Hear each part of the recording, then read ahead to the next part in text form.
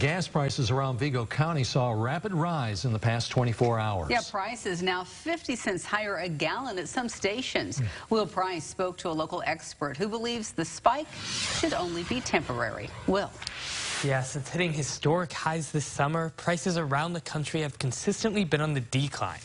Local residents may have been grimacing today while at the pump, but there is hope that prices will decrease in the near future. An unwelcome sight was back in Vigo County today. Gas prices around the area rising close to $4. Vigo resident Quinton Mosman says he spent around $90 filling up his truck at points over the last few months. Oh, it affects everything. It makes prices on everything higher, and it's just not fun to deal with. However, relief might come to motorists soon.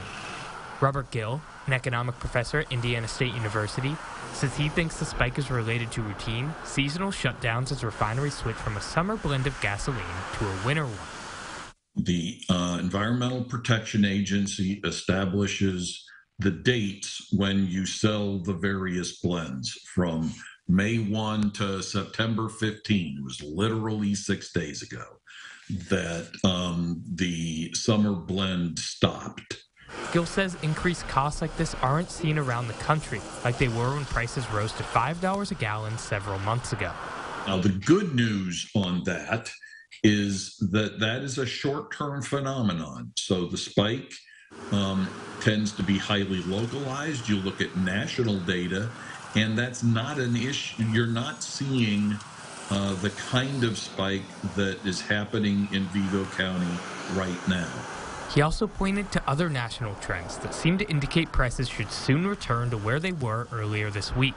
It's not a big spike in crude oil, and I seriously doubt whether uh, Putin's bluster is the explanation.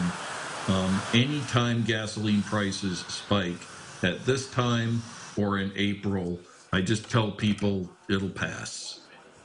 According to data from AAA, this was the first time that the national average rose in almost 100 days. Now, that was just a small increase. And Guell says prices should be back down in about the next week or two. Dana? All right. Thanks so much, Will.